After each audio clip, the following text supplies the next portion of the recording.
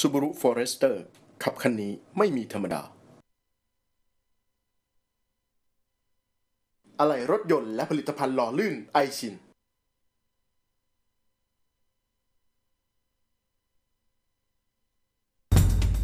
พบกับนิตยสารในเครือสื่อสากลทั้งสองฉบับ Formula Four Wheels ทุกต้นเดือน ไปพร้อมคุณนานานาน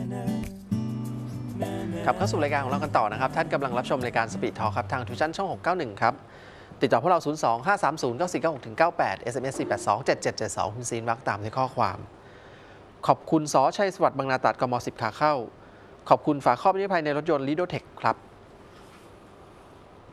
อะมาเปิดรับสายนะครับคุณผู้ชมที่มีปัญหาเรื่องรถก็โทรเข้ามาได้เลยนะครับ ช่วงนี้มาดูเรื่องราวของ SMS กัน ถามถึงเบนซ์ E Class ครับ ตัว E 2 2 0 D เครื่องดีเซลครับ เลิกทำตลาดแล้วเหรอครับ หรือทำเฉพาะตัว 350 E Plug-in ครับเขาเลิกทำไปแล้วเนี่ย ใช่ไหม ล่าสุดนโยบายในการวันที่เปิดตัวตัว 350e อ่าฮะ plug-in นะครับเขาแถลงมาแล้วว่าตัว e 2 2 0 d ที่เป็น CKD เนี่ยจะไม่ทำตลาดต่อแล้ว ครับ ถ้าที่เหลือก็คือที่เหลือจริง ๆ ครับ ที่ประกอบมาอยู่บนโชว์รูมแล้วนะเป็นครรับถที่จอดอยู่ในไรสย่าต็อกเยนะฮะาในสยังต็อกมีอยู่หรือเปล่าลองเช็คดูนะครับ แต่จัดว่าเป็นรุ่นที่น่าใช้นะครับ แล้วก็ราคาโอเคด้วยถ้าเป็นรุ่น CKD เครื่องดีเซลล้วนเนี่ยครับนะครับสำหรับคนที่หัวอนุรักษ์นะ ยังไม่รับกับเทคโนโลยีนะครับ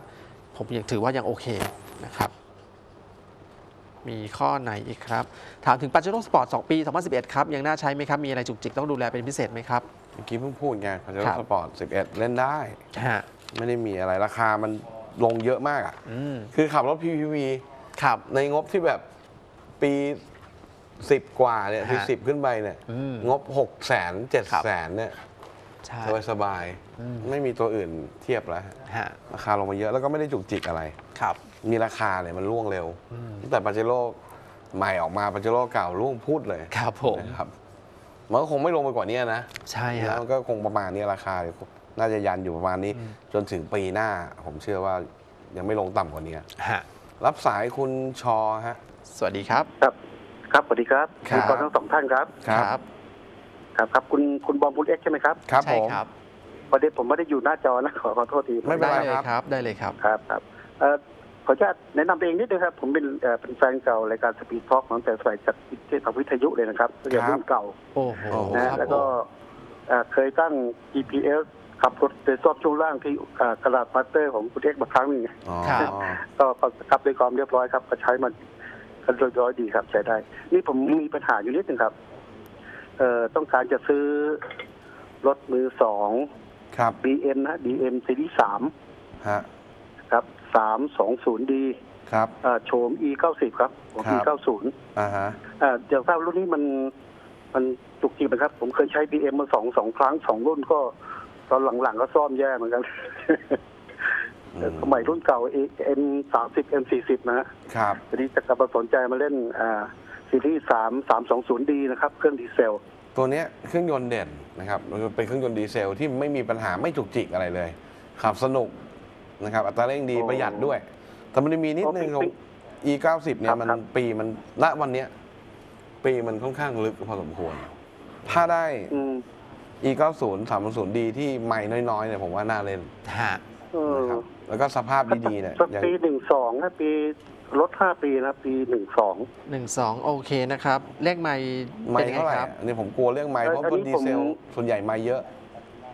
เพิ่งเริ่มสนใจนะเดี๋ยวหาข้อมูลเดี๋ยวถามว่ามันอ๋อถูกไหมโอเค พอเล่นได้ไหม เล่นได้ครับครับน่ามันเป็นน่าสนใจ โดยรวมเป็น คือถ้าพี่ครับดูครับรถที่ไม่ระดับหลักหมื่นนะครับถ้าเจอนะครับโอเค จนถึงประมาณแสนอ๋อไม่เกิน2 0 0แสนนะครับโอเคครับ ถ้าเป็นมันไม่เป็นแท้เครื่องนะคอมคโบรับเร็วเหรอครับคอมโบเร็วหรือเปล่าครับเป็นคอมโบเร็วแล้วครับ ตัวนี้นะครับคือจริงๆนะเครื่องยนต์เนี่ยเป็นเครื่องตัวเดียวกับตัวตัว F30 เลยนะฮะครับเป็นบล็อกพื้นฐานเดียวกันเลยอ๋อนะครับครับแต่ว่าครับ F30 มีการปรับปรุงอะไรมานิดหน่อยนะครับคือเพิ่มแรงบิดมานิดเดียวแต่กำลังแรงม้าเท่ากันเลย แล้วก็เกียร์เกียร์ตัวนี้ยังเป็นเกียร์6 speed อยู่นะครับ ก็ถือว่าโอเคครับ ไม่จุกจิกมากนะครับ แต่ถ้าไมล์ติดไมล์เยอะสักนิดหนึ่งตอนนี้ที่มีปัญหานะที่ผมเห็นส่วนใหญ่ก็คือมีผู้เล่หลุดนะฮะ pulley pulley พอเขาเหวี่ยงหน้าเนี่ยนะฮะมันชอบมีหลุดมีปัญหาก็ต้องตรวจเช็คดู แล้วก็ครับตัว oil cooler เครื่องยนต์ครับ oil cooler เครื่องยนต์ที่มันเอาน้ำหล่อเย็นมามามาอุ่น ตัวเครื่องยนต์อ่ามีอ่ามีการอุ่นเครื่องยนต์นะครับน้ำกับน้ำมันเครื่องเนี่ยออยล์คูลเลอร์ตัวเนี้ยมันจะชอบรั่วครับ พอรั่วปุ๊บเนี่ยจะมีน้ำเข้าไปปนในน้ำมันเครื่องนะฮะ นะคเอ่รับอรถพวกนี้มันมีตั้งแต่ปีไหนครับปีศูนย์แปดเลยป่ะฮะ08ครับใช่ครับประมาณ08ครับศูนย์ตัวแปแรดกต่อรุ่นแล้วรุ่นหลังรุ่นหลังถึงรุ่นไหนถึงรุ่นหนึ่งประมาณสามหนึ่ง11สี่เคยเห็นมีๆสุดท้ายประมาณสุดท้ายประมาณ13 14เนี่ยครับ13ครับโอ้13ครับ แล้วรุ่นไหนรุ่นที่มีแอร์เบาะหลังครับมันเป็นรุ่นไหนครับ อืมเป็นปีที่ minor change แล้วนะฮะ อืมปีปีไหนครับ ปีปีที่มีแอร์เบาะด้านหลังอะ ผมว่า 11 ขึ้นมาเนี่ยครับ11 12 ขึ้นมาเนี่ยที่เป็น minor change นะฮะโอ้ครับผมอืมราคามันประมาณเท่าไหร่ครับเห็นดูจากไปดูจากไอ้เว็บไซต์แล้ว320มันดีคือถ้าตัวเริ่มต้นประมาณเองตอนนี้อยู่ที่ประมาณ 7 8 แสนนะครับ ตัวเริ่มเริ่มๆนะฮะถ้าปีโอ้ถ้าปีขยับขึ้นมาหน่อยก็ประมาณ 8 ถึงประมาณล้านนะครับ สวยๆเลยปีท้ายๆก็ประมาณล้านต้นๆนะครับอยู่ประมาณล้านหนึงไม่ไม่เกินเนี่ยฮะนิดๆเลยครับเพราะว่าครับตัว F30 ลงมาประมาณล้าน2ล้าน3แล้วนะฮะ โอ้เห็นเต้นเขาตั้งกับประมาณประมาณล้านล้านบวกลบนิดหน่อยนะฮะครับครับใช่ใช่ครับประมาณนี้ใช่ไหมฮะครับใช่ราครัคาบเนี้ยอืมเพราะเพราะโทษนะถ้าครับเป็นซีรีส์ห้าล่ะครับ ถ้าเป็นซีรีส์ห้าล่ะห้าสองศูนย์ e หกสิบอืม E 60ราคาจะตกกว่านะครับ มันมันมันมันเป็นไงครับถ้ามันปัญหาชุกจิกไหมใช่อ่าซีรีส์คือสามจะดีกว่าใช่ไหมคือคือถ้าเทียบการขับขี่เนี่ยคือถ้าเป็นเป็นความคล่องตัวเนี่ยนะครับตัว e 9 0ดีเซลเครื่องเดียวกันเนี่ยมันคล่องกว่าเพราะเครื่องเดียวกัน แต่ e 6 0 จะได้ครับเรื่องของการการขับขี่ขนาดของภายในนะครับโอ้ช่วงล่างดีกว่าครับในในแง่ของการทรงตัวอืมแล้วก็สภาพถนนไม่ดีเนี่ยเก็บรายละเอียดได้ดีกว่านะฮะอืมครับนี่ถ้าถ้าขอว่าอีกนิดครับถ้าเป็นเบนซ์แล้วครับถ้าเป็นเบนซ์ราคาขนาดเนี้ยมันมีรุ่นไหนมันจะเป็นเครื่องดีเซลอะล้านหนึ่งเครื่องดีเซลอะครับร้านบวกลบนิดหน่อยนะฮะอ่าฮะก็ก็จะเป็น 2 ตัวครับ ก็คือ W211 กลมเฉียงหน้าธนูนะครับ ปีท้ายๆนะครับ ราคา ราคาก็จะอยู่ประมาณต่ำกว่าล้านแล้วนะครับ แล้วก็ตัว W204 ที่เป็น C Class นะครับ250 CG CDI นะครับ ปีประมาณสัก 11 11 ขึ้นมานะครับฮะเดบิวสองศูนย์สี่นี่มีเครื่องดีเซลไหมครับ มีครับผม C250 C250 CDI นะฮะ W204 นะครับ เดี๋ยวเดี๋ยวเลยฮะชุดรุ่นเดี๋ยวจดนิดนึงเอ่อของของเบนซ์นะฮะของเบนซ์ ครับ W สองศูนย์สี่นะฮะใช่ฮะ W204 อืมอืมโอโอเคครับ ถ้าถ้าเป็นเบนซ์นี่มันมันน่าจะไม่ค่อยจุกจิกนะน่าจุกจิกน้อยกว่าบีเอ็มนะ ไม่ไม่ต่างกันนะพอครับกันนะฮะไม่สองต่างสกัองคันเนี้ยสองรุ่นเนี้ยถ้าเป็นเบนซ์กับ BM พอๆกัน เทคโนโลยีเครื่องยนต์ใกล้เคียงกันนะครับ part part ของผู้ผลิตซัพพลายเออร์เหมือนเหมือนกันนะครับ ไม่ได้ต่างกันนะฮะครับ แต่ถ้าจะเอสามสองศูนย์ที่น่าจะเป็นรุ่นสักหนึ่งหนึ่งหนึ่งสองขึ้นไปใช่ไหมถ้าจะเล่นนะครับอ่าใช่ครับแล้วใช่ตัวคสุรัดบท้ายตัวก่อนไม่ได้เชนก่อนเปลี่ยนโฉมฮะโอ้ครับครับครับครับครับขอบพระคุณมากครับครัครับบผมครับ อะประมาณนี้นะครับงั้นในช่วงนี้ไปดูเรื่องราวของการสลิดครับกับสีสูตรน้ำ90 ลายนะครับ สีพ่นรถยนต์กาโซลิดสูตรน้ำหรือว่าสีตานกแก้วเนี่ยต้องบอกว่าสีที่ไม่ทำลายสิ่งแวดล้อมนะครับ แล้วก็มีการผสมสี โดยการใช้เครื่องเรโชสแกนทูทำให้ค่าสีออกมาถูกต้องแม่นยำไม่มีผิดเพี้ยนเลยครับ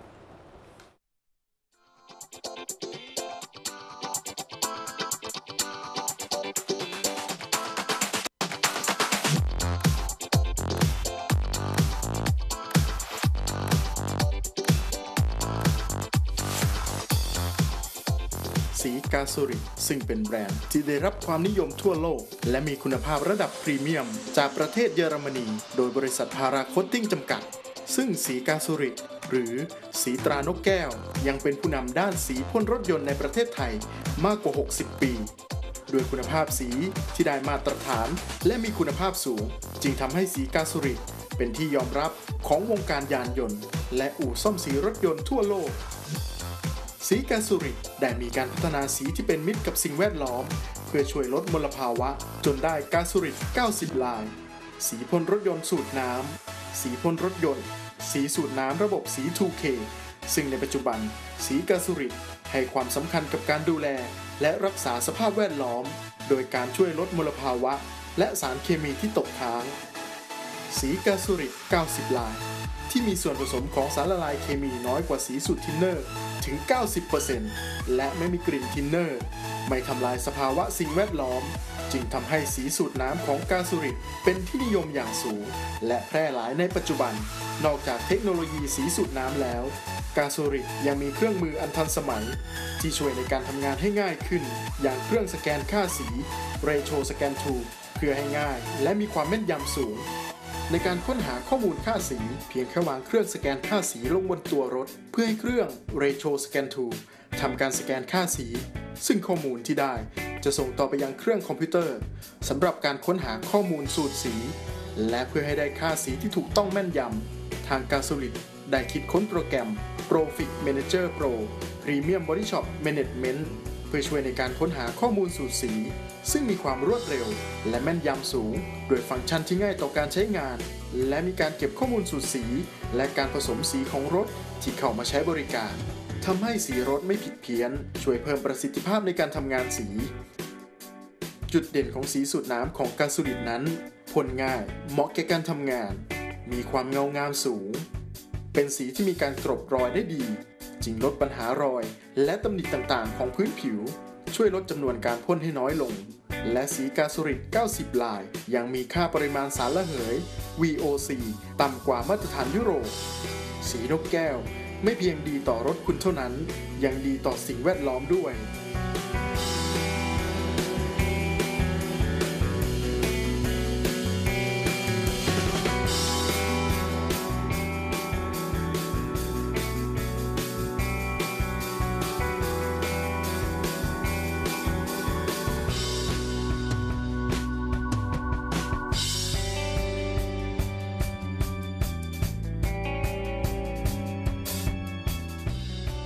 สีสูตรน้ำกระสุริต90 ลาย สีสูตรน้ำคุณภาพสูง ที่เป็นมิตรกับโลกและสิ่งแวดล้อม โดยบริษัทพาราโคตติ้งจำกัด